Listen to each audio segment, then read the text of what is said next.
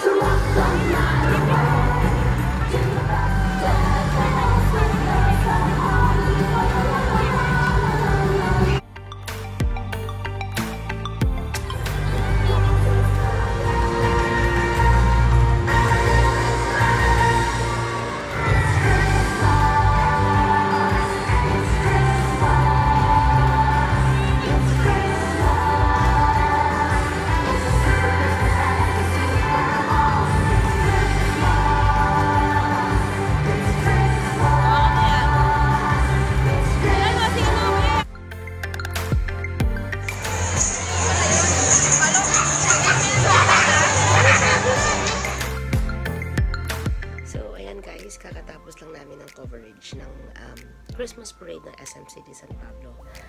At uh, alam mo, mapapansin niyo talagang sobra, sobra yung mga uh, smile na nakita po namin sa mga face ng mga batang nanonood doon. Especially yung mga kaliliitan na pag lumalabas sa si Santa Claus, yung Seven Dwarf, yung mga princess, si Ginger Man, talaga pong yung ngiti nila halos umabot sa tenga. So, yung mga ganitong activities or event na ginagawa ng SM City San Pablo, talaga nakatatak na siya sa mga um, puso or heart ng mga bawat. Kahit nga mga nanay excited sila magpicture na magpicture at doon sa isang nakita namin na ano na lola na lahat ng dumaan na mga character talagang hinintuan si lola nag-bless yung mga yung mga performers and lahat yata nakapagpa-picture si lola. So sulit na sulit. So hindi lang talaga yung parade na to is para sa mga bata. Even young at heart talaga po nag-e-enjoy na puntahan ang SM City San Pablo para po ma-witness lamang yung mga Christmas parade na yearly ginagawa ni SM City San Pablo. So the rest of the team of SM City San Pablo, especially the marketing department, congratulations. It is really a successful Christmas parade 2019. So guys, thank you for watching my videos and please subscribe to my channel, Maria Tolosa TV. Konti na lang po. So please, every time that you watch my video, please make, make it sure na nakapag-subscribe po kayo kasi sobrang dami ko ng watch hour, subscriber na lang and maybe yan, one of these days, mag-monetize na yung ating channel. Thank you very much guys for watching. Bye!